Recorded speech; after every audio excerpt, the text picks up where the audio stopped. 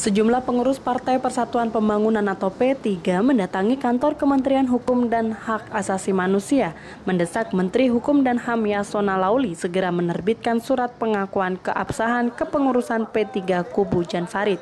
Jika Kemenkumham tak lekas menerbitkan surat yang dimaksud, Pengurus pusat partai berlambang Kakbah hasil Munas Jakarta ini akan melaporkan Kemenkumham ke Mahkamah Internasional. Karena kan belum amar putusan Mahkamah Agung, ada kendala apa dari Kumham? Itu saja. Sudah, ada usah ngomong siapa ketua umum sekjennya, laksanakan saja amar putusan Mahkamah Agung.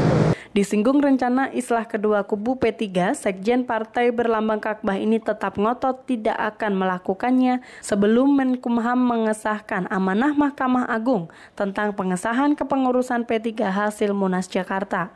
Sebelumnya Menkumham Yasona Lauli pernah berjanji akan mengesahkan kepengurusan Jan Farid sebelum tanggal 15 Januari.